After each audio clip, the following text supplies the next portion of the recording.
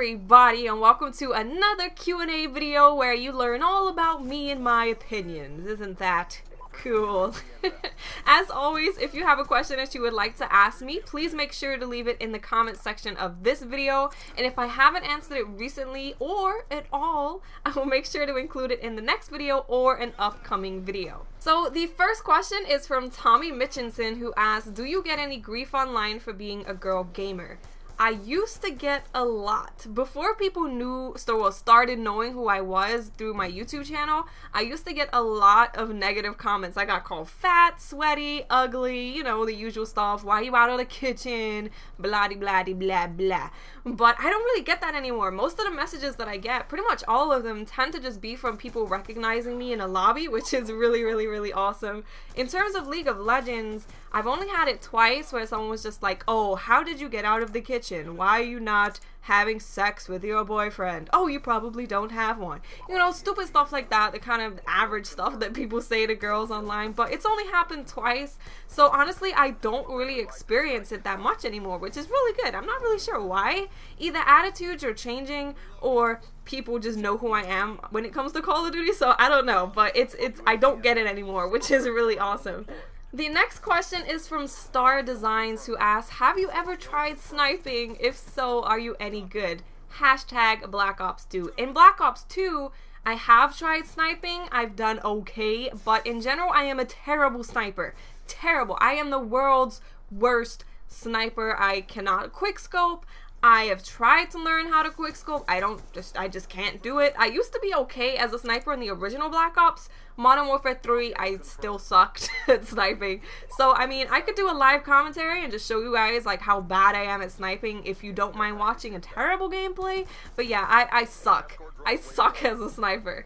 The next question is from 907 Acrazed. Acrazed? Acrazed or Acrazed? I'm sorry, I don't know which one it is. It's probably neither. And he says, I have a question for your Q&A. When do you think you're too old to be a gamer? Like a commonly used insult online is, what are you, 35? I don't think you're ever too old to be a gamer. I really don't. Like I've said many times, that my mother is a gamer. She's been a gamer her whole life. She still plays like four or five hours a day of video games. So I don't think you're ever too old. The only time that people tend to slow down is when they have children or like maybe they go to college or whatever.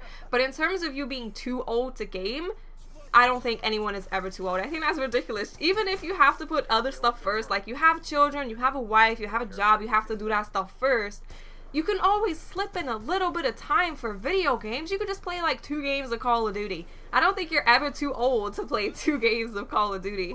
The next question is from Manuel who asks, do you still enjoy playing Call of Duty? If so, why do you still enjoy playing? yes, I do still enjoy Call of Duty. One of the main reasons and one of the main things that I've always loved about Call of Duty is that it's really fast paced. Like, I love going into a room of three people, killing them all, and being like, yeah, I'm the best. like, I love those moments. I love those moments. And Call of Duty creates those moments for you pretty frequently. So that's what I really like about it. I also like that it's not time consuming. So say if I've had a really busy day and I just want to play a game, I can hop on for 30 minutes. I can hop on for an hour and still get as much from it as I would as playing for five hours. If that makes any sense. Like I don't have to put a huge amount of time into it to get a good amount of stuff out of it. And the last question is actually just a question that is asked by a lot of people. I've been asked this question so many times, so I thought I would just put it in a video so everyone knows my answer to it. And that question is, are you getting an Xbox One or are you getting a PS4? And I'm getting both, guys. I've said it quite a few times, but now you all know I'm getting both. I like the fact that Xbox One is going to have dedicated servers. That's going to make the online experience a lot better than it is right now. And I'm getting PS4 because Sony has badass exclusives their exclusives are always super awesome. So I'm getting both because then I have the best of both worlds.